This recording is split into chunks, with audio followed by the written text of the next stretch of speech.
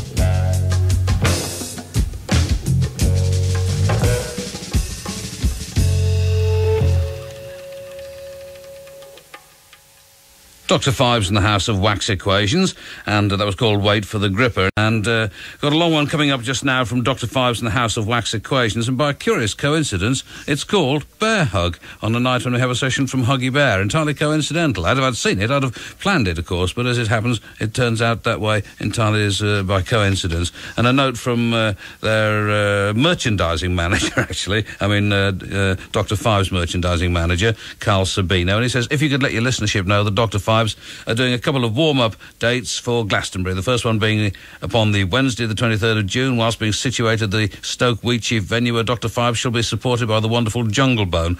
Uh, the second date is Thursday, the 24th of June, to be a double headed Blissorama at the Derby Warehouse with a group of performing uh, with the inimitable. He writes it very strangely, and I'm reading it appallingly.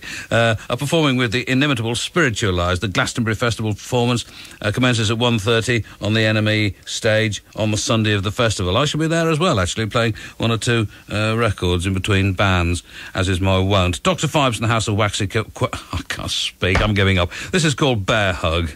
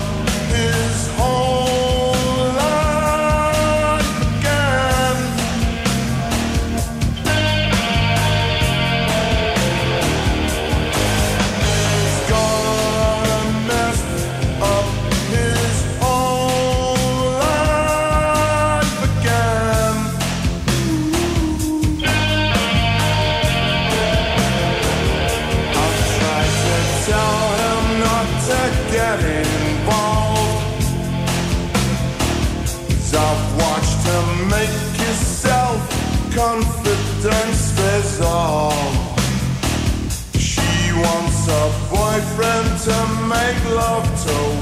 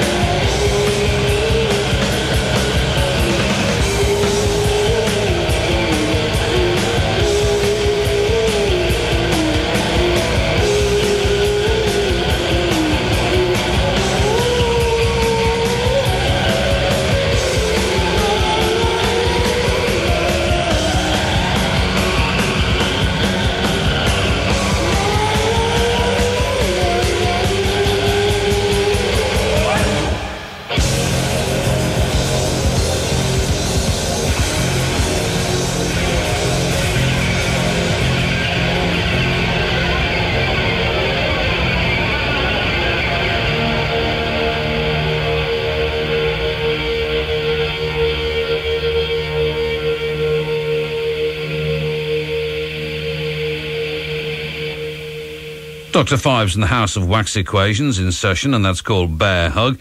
And this is the last from Dr. Phibes and the House of Wax Equations.